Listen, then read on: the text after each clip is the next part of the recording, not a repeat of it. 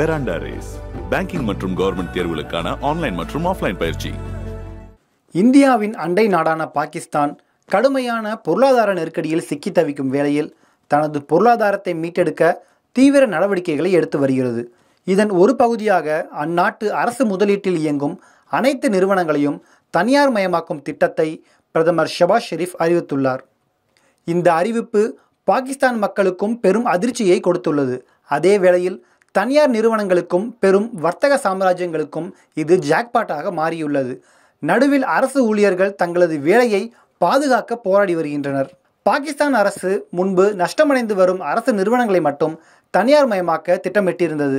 ஆனால் தற்போது லாபம் ஈட்டும் நிறுவனங்களையும் தனியார் துறைக்கு விற்பனை செய்யும் முடிவை அரசு எடுத்துள்ளது கவனிக்க வேண்டிய ஒன்றாக உள்ளது.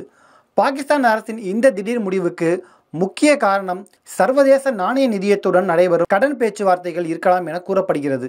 பாகிஸ்தான் தனது கடுமையான நிதி நெருக்கடியை சமாளிக்க ஐஎம்எஃப் இடம் இருந்து கடன் பெறுவது மட்டும்தான் ஒரே வழியாக கொண்டுள்ளது.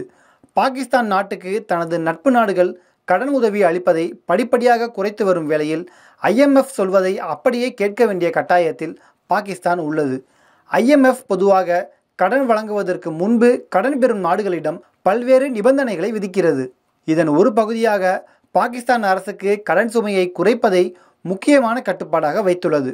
அரசு நிறுவனங்களை தனியார் மயமாக்குவது மூலம் அரசின் செலவுகளை குறைப்பதற்கும் பொருளாதாரத்தை தாராளமயமாக்கவும் உதவும் என பாகிஸ்தான் தீவிரமாக நம்பும் காரணத்தால் அனைத்து அரசு நிறுவனங்களையும் தனியார் மயமாக்கல் செய்ய முடிவு செய்துள்ளது.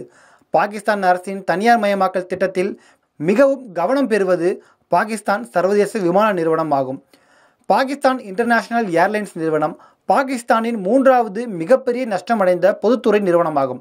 பாகிஸ்தான் சர்வதேச விமான நிறுவனம் கடன்களுக்காக மட்டும் மாதம் பதினொன்று புள்ளி ஐந்து பில்லியன் பாகிஸ்தான் ரூபாய் செலவிட வேண்டியுள்ளது.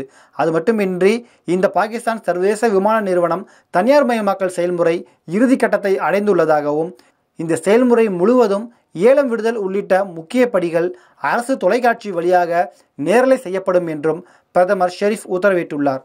இதேபோல் பிற நிறுவனங்களின் தனியார் மயமாக்கல் பணிகளையும் அரசு தொலைக்காட்சி வழியாக நேரலை செய்யப்படும் என பாகிஸ்தான் அரசு தெரிவித்துள்ளது. பாகிஸ்தான் அரசின் இந்த தனியார் மயமாக்கல் நடவடிக்கை சர்ச்சைக்குரியதாக உள்ளது.